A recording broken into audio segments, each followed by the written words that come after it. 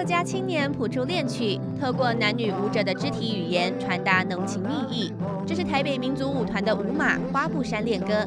台北民族舞团在外交部安排下，十一月前往中美洲邦交国巡回演出，肩负起文化外交的任务。我国的这个文化表演艺术呢，能量非常的丰沛。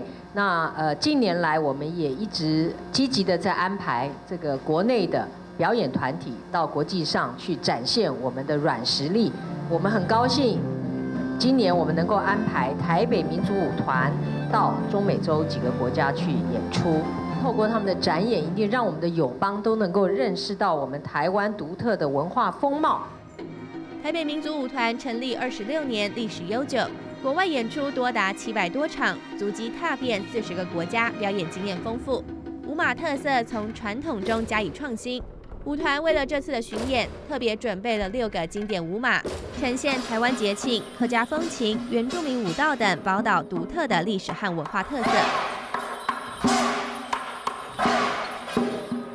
像原住民那个飞鱼记啊，这次我们是南语的情歌。呃，这是一首叙事诗，非常美的叙事诗，爱情的。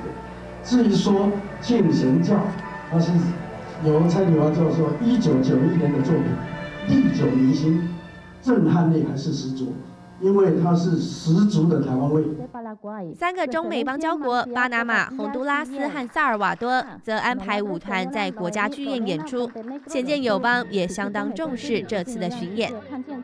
Este tipo de proyectos e intercambios culturales permiten que Centroamérica y Taiwán sigan construyendo lazos aún más fuertes de amistad y entendimiento mutuo.